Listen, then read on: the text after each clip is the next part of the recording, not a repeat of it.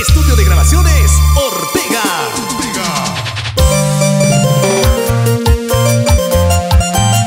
Ningún lenguaje puede expresar el poder y la belleza y el heroísmo y la majestad del amor de una madre.